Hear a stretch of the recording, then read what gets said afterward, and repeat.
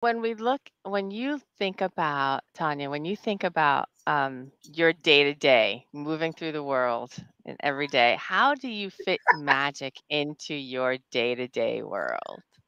How is it a part I of your day Yeah. I I I ritualize things, right? Morning coffee with the husband, we make it a ritual. Mm. Uh Yes.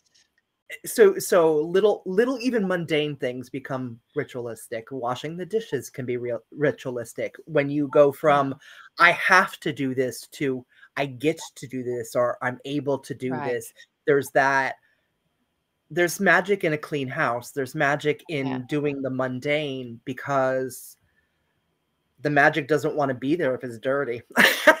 right So you have to right. make you have to have a presentable spot, Right. And, you know, we open the doors 30 degrees out because we want some of that beautiful energy to come through and clear out the stagnation. Right, So yeah, so it's it's in the little things that you choose, right?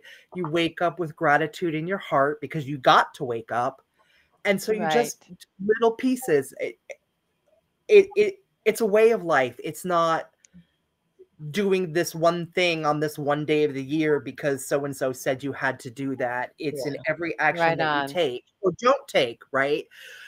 Because there are times when you you know, sometimes you let fear not let you do something, and, you know, I try really hard not to do that to myself